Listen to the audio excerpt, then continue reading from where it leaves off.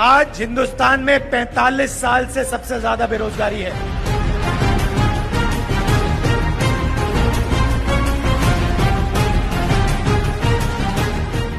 नरेंद्र मोदी जी कहते थे, सत्तर साल में क्या किया कांग्रेस पार्टी ने? सत्तर साल में कांग्रेस पार्टी ने इतनी महँगाई हिंदुस्तान को नहीं दिखाई। आरएसएस और नरेंद्र मोदी जी ने नफरत की राजनीति शुरू की। जहाँ भी नरेंद्र मोदी जाते हैं, कोई ना कोई झूठ बोल जाते हैं।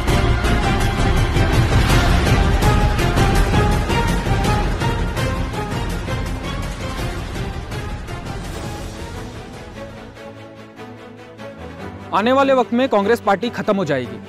अब कांग्रेस पार्टी को संभालने वाला कौन बचा है? अब कांग्रेस पार्टी की बागडोर किसके हाथों में दी जाएगी?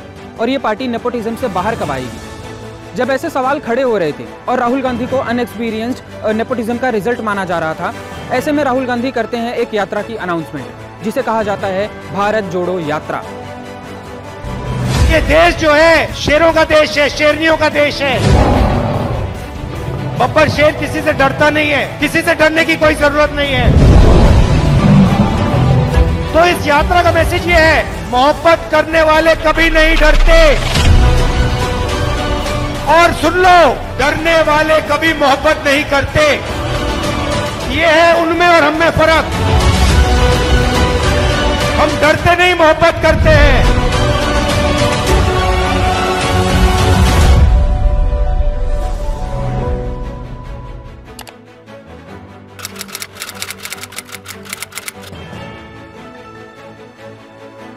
दरअसल अभी का दौर कांग्रेस पार्टी के लिए कुछ सही नहीं चल रहा था।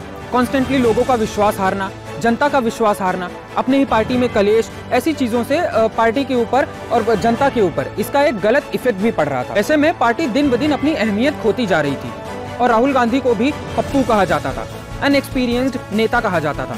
फोर्सफुली पॉलिटिक्स में लाया गया है, ऐसा कहा जाता था। एक ऐसा इंसान जिसे राजनीति की समझ ही नहीं है, ये कहा जाता था। ऐसे में ये पार्टी चला पाएँगे? इसके बाद राहुल गांधी फॉर्म में आते हैं और अनाउंस करते हैं, भारत जोड़ो यात्रा की। जो 12 स्टेट से और दो यूनियन टेरिटरीज से होकर गुजरेगी। जिस आज हिंदुस्तान में 45 साल से सबसे ज़्यादा बेरोजगारी है।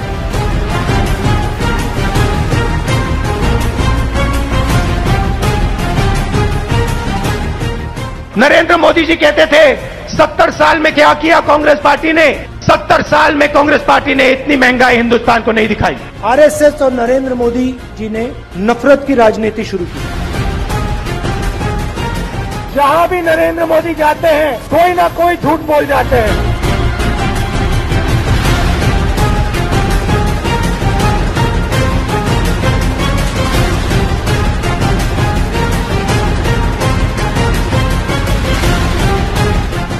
लोकतंत्र आज हिंदुस्तान में नहीं है, खत्म हो गया है।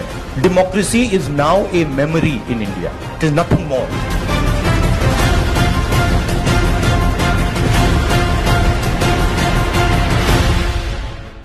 ऐसा वक्त जब पार्टी खत्म होने के कगार पर है।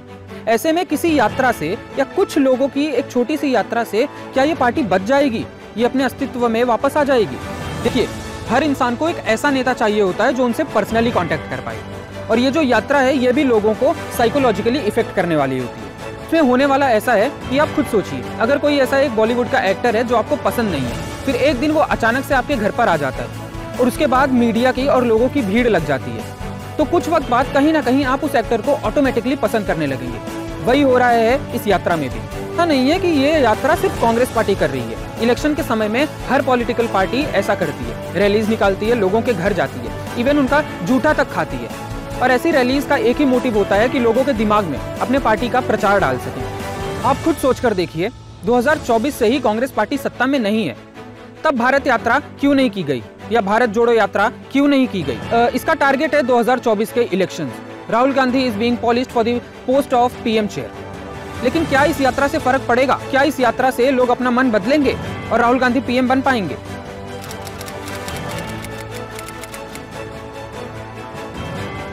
बिल्कुल, इस यात्रा से फ़र्क तो पड़ेगा। लेकिन कांग्रेस पीएम की कुर्सी जीतेगी तो नहीं, लेकिन परफॉर्म काफ़ी अच्छा करेगी और टक्कर दे पाएगी। 2024 के इलेक्शंस के बाद भी पीएम की जो कुर्सी है वो बीजेपी ही ले जाएगी। लेकिन हाँ कांग्रेस टक्कर बहुत अच्छा देगी। And the only thing which would left in the party better luck next time